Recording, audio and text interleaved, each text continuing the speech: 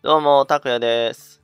緊急事態宣言が5月末まで延長することが決まりましたね。外出自粛が続くのは正直辛いですね。せっかくゴールデンウィークでバイク乗りにはとてもいい季節になってきたからなおさらです。まあちょうど収束してきたからここから再び感染を広げないためにも仕方ないですね。だけどニュースとか見ると我慢できずバーベキューとかしている人がいるみたいですね。挙句の果てには感染していると知っていながら実家に帰っている人もいるみたいです。まあ差別するわけじゃないですが、ウイルスは一人一人の行動が大切なので本当に辛抱してもらいたいものです。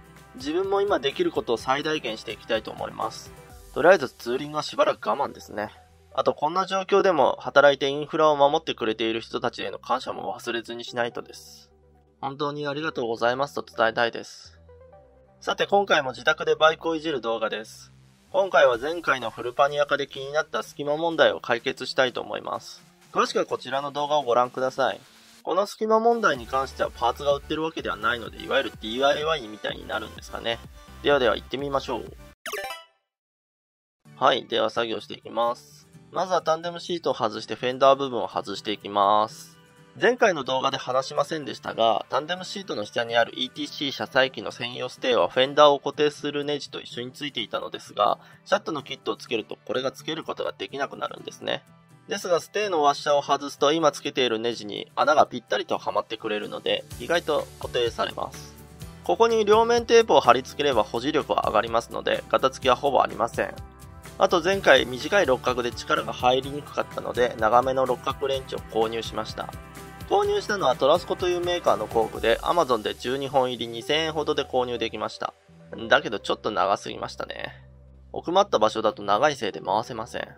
もう少しちょうどいい工具を買わないとダメですかね。何かおすすめな工具があったらぜひコメントいただければ幸いです。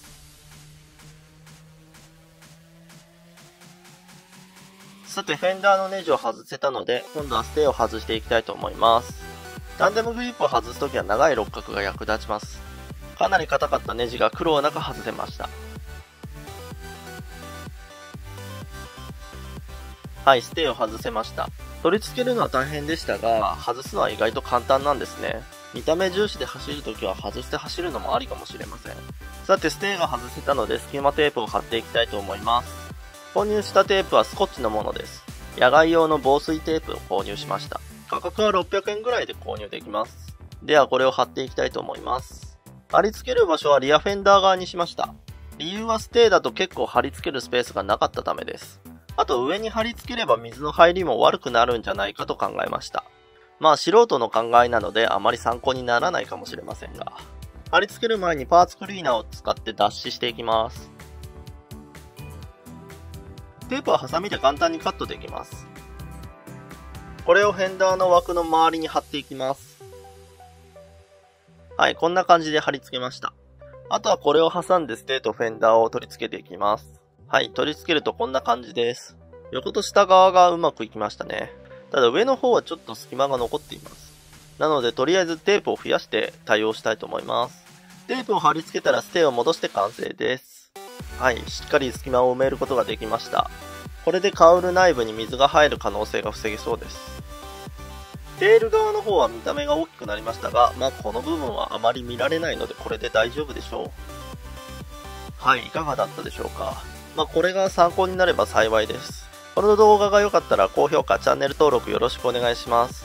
ではでは、バイバーイ。